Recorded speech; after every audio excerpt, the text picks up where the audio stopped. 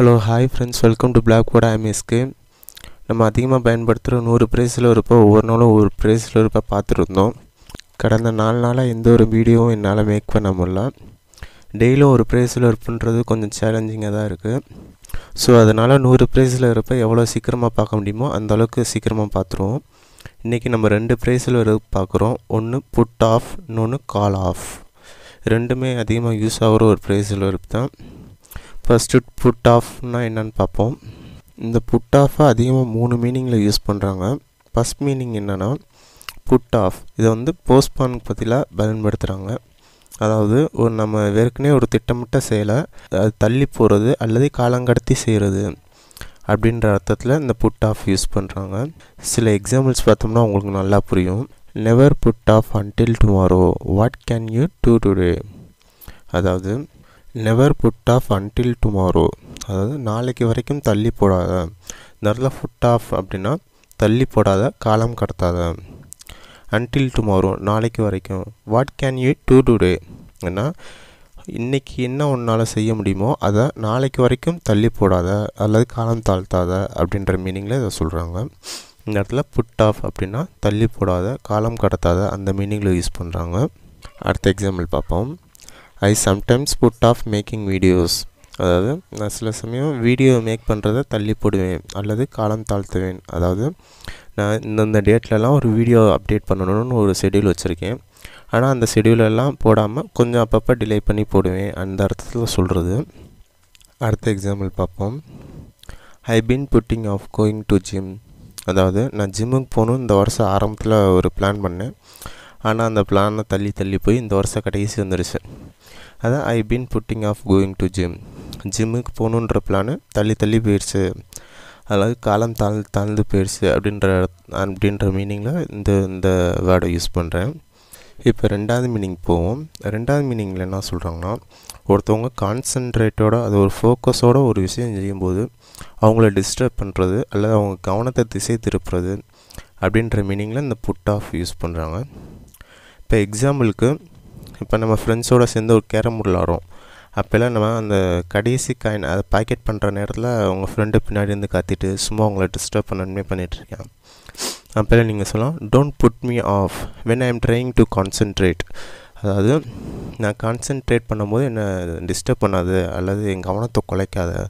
அந்த மீனிங்கில் யூஸ் பண்ணுறாங்க I don't want to hear your conversation you are putting me off அதாவது உன்னோட பேச்சுவார்த்தையை நான் கேட்க விரும்பலை.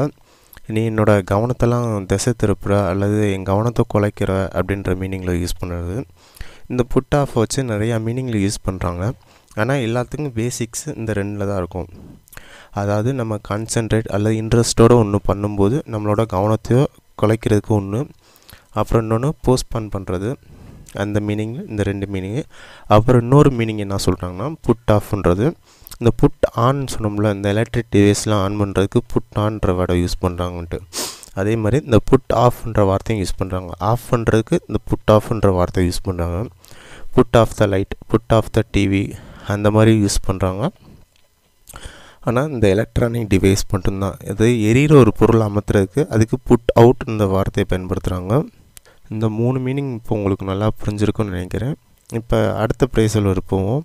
இது நமக்கு பத்தாவது ப்ரைஸல் அல்வர் பத்தாவது ப்ரைஸல் அல்வர் கால் ஆஃப் இது அதிகமாக ரெண்டு மீனிங்கில் யூஸ் பண்ணுறாங்க ஒரு மீனிங் கேன்சல் அதாவது நம்ம எப்படி புட் ஆஃப்ன்ற ஒரு ப்ரைஸில் இருப்ப ஏதாவது ஒரு பிளானோ அல்லது ஈவெண்ட்டோ தள்ளி போகிறதுக்கு புட் ஆஃப்னு யூஸ் பண்ணோமோ அதே மாதிரி இந்த கால் ஆஃப்ன்றத அந்த ஈவெண்ட்டை கேன்சல் பண்ண அல்லது நம்ம திட்டமிட்ட ஒரு ஐடியாவோ அல்லது ஒரு ஈவெண்ட்டோ அதை கேன்சல் பண்ணோம்னா இதை கால் ஆஃப்னு சொல்கிறாங்க we had a meeting schedule for five o'clock this afternoon but it was called off நமக்கு இன்றைக்கி மதியம் அஞ்சு மணிக்கு மீட்டிங் இருந்துச்சு ஆனால் அது நிறுத்தப்பட்டது அப்படின்ற அர்த்தத்தில் இது யூஸ் பண்ணுறாங்க இட் வாஸ் கால்ட் ஆஃப் அப்படின்னா அது கேன்சல் செய்யப்பட்டது.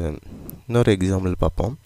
Rani called off her wedding at the last minute அதாவது கடைசி நேரத்தில் அவளோட திருமணத்தை அவள் கலைத்து விட்டாள். அதாவது கேன்சல் பண்ணிட்டா. அப்படின்ற மீனிங்கில் இது சொல்கிறாங்க ஆனால் கால்ட் ஆஃப்னா கேன்சல் இன்னொரு எக்ஸாம்பிள் பார்ப்போம்.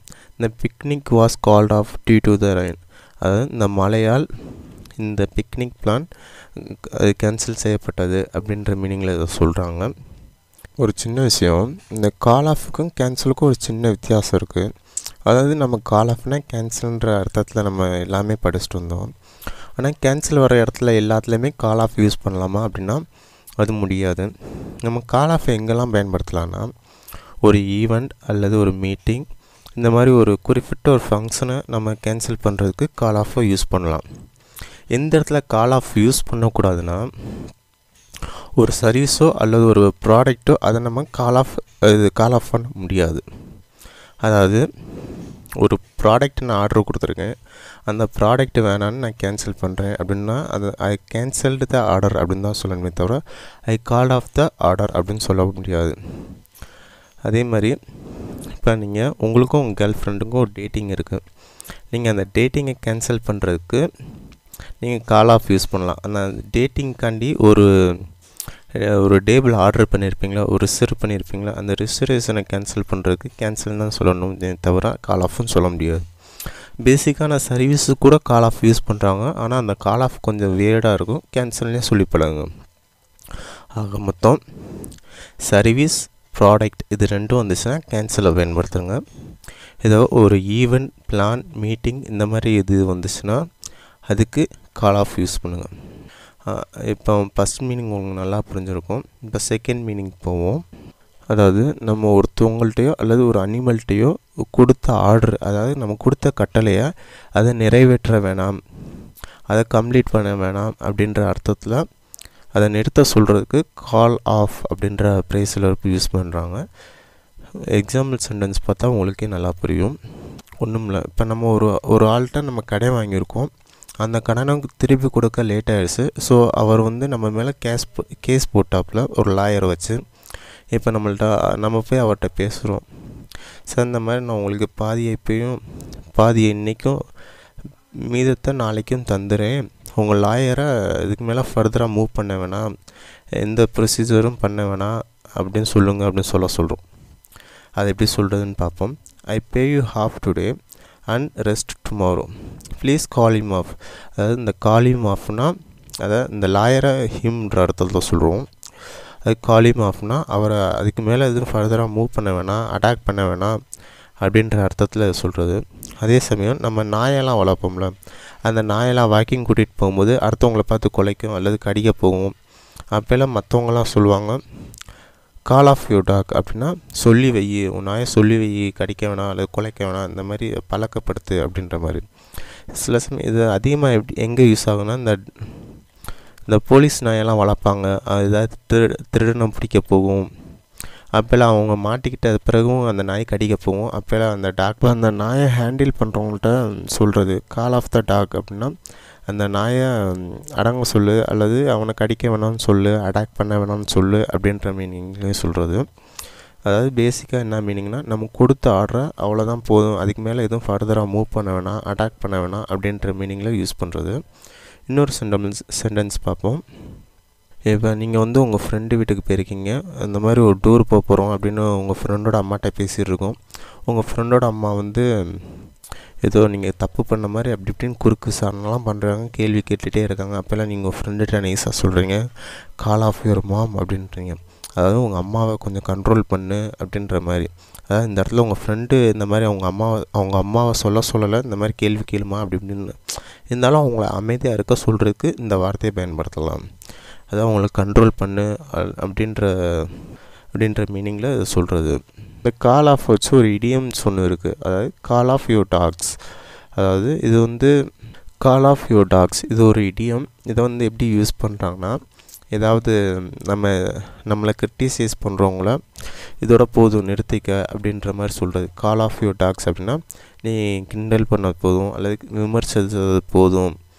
அதை நிறுத்திக்க அப்படின்னு சொல்கிறதுக்கு இந்த கால் ஆஃப் யூ டாக்ஸ் அப்படின்றது சொல்லலாம். இந்த இடத்துல லிட்ரல் மீனிங் பார்த்தோம்னா அந்த நாயை அமைதியாக இருக்க சொல்லு அப்படின்ற மாதிரி இதுதான் வரும். ஆனால் அப்படி பார்க்கக்கூடாது. இது ஒரு இடியம் இது அப்படின்னா நீ கலாய்ச்சது போதும் அல்லது நீ விமர்சிச்சது போதும் இதோட நிறுத்திக்க அப்படின்ற மாதிரி மீனிங்கில் சொல்கிறது இன்றைக்கி நம்ம பார்த்த ரெண்டு ப்ரைஸில் இருப்போம் உங்களுக்கு யூஸ்ஃபுல்லாக இருக்கும்னு நினைக்கிறேன். தேங்க்ஸ் ஃபார் கிளிக்கிங் இது வேறு யாருக்கு யூஸ்ஃபுல்லாக இருக்குமோ அவங்க